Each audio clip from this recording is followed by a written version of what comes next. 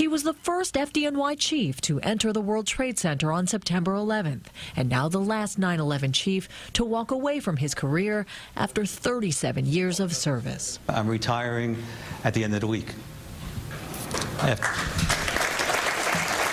Joseph Pfeifer was 45 years old, chief of Battalion 1 in Lower Manhattan, when terrorists struck the Twin Towers. That day, I saw the plane, the first plane, aim and crash into the World Trade Center.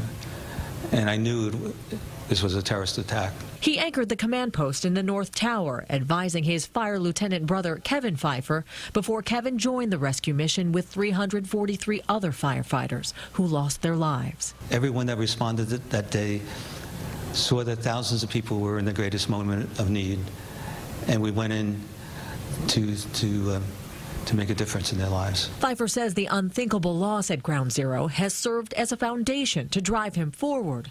Over the last 17 years, he's utilized his experience to prepare others for possible terror attacks in the future.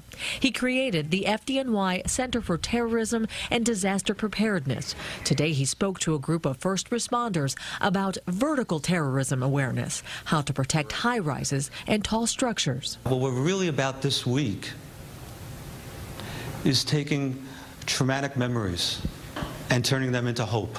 The 62 year old married father of a grown daughter and son says he will eventually slow down as much as his four year old granddaughter will let him. She'll keep you busy. Yep, already I'm chasing her around. and certainly grateful he has that joyful opportunity that so many had taken away. In Midtown, Hazel Sanchez, CBS 2 News. Chief Pfeifer will now go on from firefighter to teacher, sharing his expertise on disaster preparedness at Harvard and Columbia universities.